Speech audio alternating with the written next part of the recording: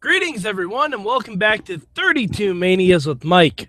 Oh man, we, re- you guys, WrestleMania is legal, legal to drink. We are on WrestleMania 21. Ah, this this is a fun one. This is a fun WrestleMania. Uh, it's different. It's definitely a little different because, as you can tell, WrestleMania goes Hollywood. Uh yeah, and also if you've ever had the song Big Time in your head, it is probably because of this WrestleMania. Uh thankfully it was edited out of the network version, so I don't have it in my head until I just said it. So now all I can think is Big Time. Yeah. So much larger than life. Anyway, uh but yeah, WrestleMania goes Hollywood this year. This is the year that all the promos for WrestleMania were killer. It was just wrestlers doing scenes from famous movies. Um, you had Stacy Keibler doing the Basic Instinct stuff with uh, Benoit, Jericho, and someone else being the interrogators. You had Kurt Angle and Christy Hemme doing uh, the "That's What She Said" moment from when Harry met Sally. Oh God, Eugene as Forrest Gump.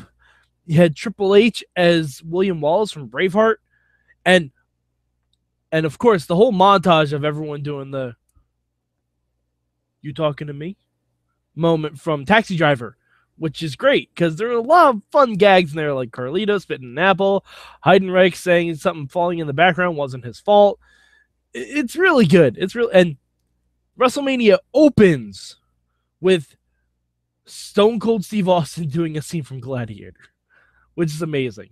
Um it j- just uh, these promos are fun, super great. Even if you don't want to watch this Mania again, which you should, but if you don't want to watch this Mania again, watch the promos. The promos are fucking balls out amazing.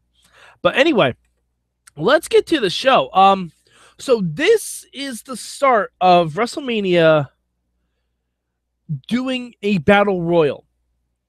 Now, it was a dark match. Uh, so it wasn't on Sunday Night Heat or anything like that. It was just for the people in the crowd.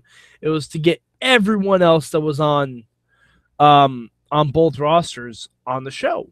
So I mean, they may call it the Andre the Giant Memorial Battle Royal now, but uh, back in the day, it was called the Interpromotional Battle Royal. So I'm just gonna run down the guys real quick that were in this because, like I said, I didn't get to see it. But uh, you got you got the Hurricane, Luther Reigns, Scotty 2 Hotty, Funaki, Spike Dudley, Billy Kidman, Charlie Haas, Maven, Val Venis, Simon Dean, Sylvain Grenier, Rosey, Rhino, Rob Conway, Doug Basham, Danny Basham, Tyson Tomko, Akio, Hardcore Holly, William Regal, Orlando Jordan, Paul London, Tajiri, Heidenreich, Snitsky, Mark Jindrak,